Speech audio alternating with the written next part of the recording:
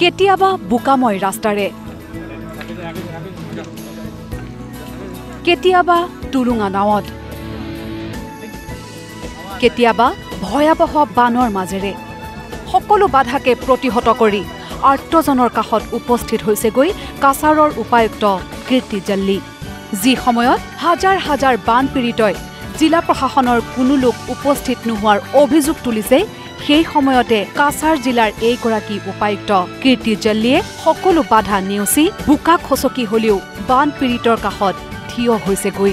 তেওঁলোকৰ সমস্যাৰ বুজ লৈছে। বানপীড়িতক আশ্বাস দিছে তেওঁলোকৰ সৈতে একেলগে থিয় হৈ থাকিম বুলি। পৰিস্থিতি চাই জিলা উপায়ুক্তগৰাকীৰ মন্তব্য আগন্তুক বৰ্ষত যাতে এই পৰিস্থিতিৰ উদ্ভৱ নহয়। সেয়েহে বাৰিষা গ'লেই ল'ব লাগিব ব্যৱস্থা।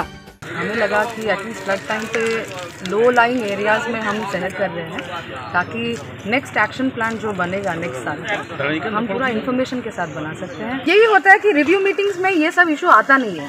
कहीं ना कहीं छूट जाता है तो इसीलिए हम सोचे कि हर ब्लॉक में सबसे पीड़ित जगह में जाएँगे, ताकि नेक्स्ट ईयर के लिए या उस नेक्स्ट ईयर के लिए ये रिपीट ना हो। यही हमारा टारगेट है। आप देखिए, मैं सोनाई ब्लॉक गई थी, उदारबंद ब्लॉक गई थी सालचपरा बोरखोला भी।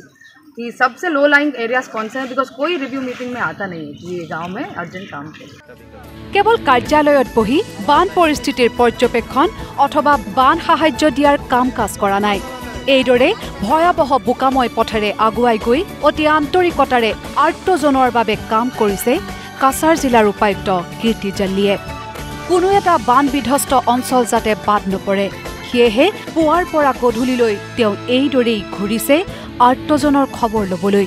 মঙলবাৰে উদাৰবান্ধ আৰু সোণাই সমষ্টিৰ বাদ বিধ্বস্ত অঞ্চল পৰিদৰ্শন কৰে কাছাৰ জিলাৰ উপায়ুক্তগৰাকীয়ে। একেদৰে সোমবাৰৰ দিনাও কেইবাটাও বান বিধ্বস্ত অঞ্চল পৰিদৰ্শনৰ লগতে বান সাহায্যও প্ৰদান কৰে কাছাৰ জিলাৰ উপায়ুক্ত কীৰ্তি জল্লিয়ে জিলা উপায়ুক্তগৰাকীৰ এনে আন্তৰিকতা এনে পদক্ষেপক সকলোৱেই কৰিছে প্ৰশংসা। কাছাৰৰ পৰা জাকিৰ হুছেইন News Live.